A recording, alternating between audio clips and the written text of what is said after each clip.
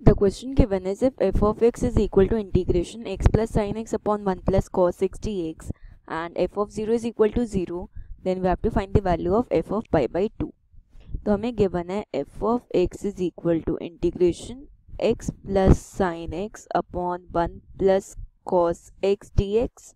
तो ये हो जाएगा f of x is equal to integration of x plus two sine x by two cos of x by two upon two cos square x by two d x term separate कर ले तो हमें मिलेगा one by two integration of x sec square x by two d x plus integration of two sine x by two cos of x by two upon two cos square x by two d x तो ये to से to cancel out होगा, ये से ये cancel out होगा। हमें मिलेगा f of x is equal to यहाँ पे हम इंटीग्रेशन बाई पार्ट्स यूज़ करते हैं। फ़र्स्ट फ़ंक्शन यू लेते हैं हम एक्स को और वी लेते हैं sec square x by two को। तो हमें मिलेगा half into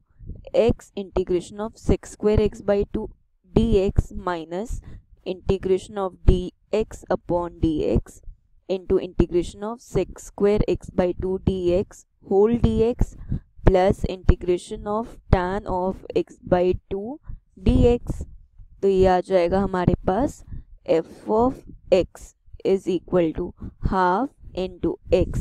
sec square x by two हो जाएगा tan of x by two into two plus c where c is the integration constant minus twice of integration of tan x by two d x plus integration of tan of x by two d x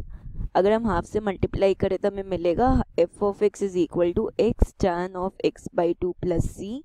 minus integration of tan of x by two d x plus integration of tan of x by two d x तो ये cancel out हो जाएगा और हमें मिलेगा f of x is equal to x tan of x by two plus c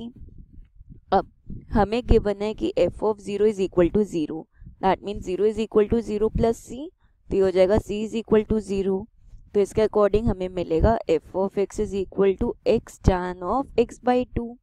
अब हमें find करना है f of pi by two that is equal to pi by two into tan of pi by four और pi tan pi by four की value one होती है. तो इसका मतलब f of pi by two is equal to pi by two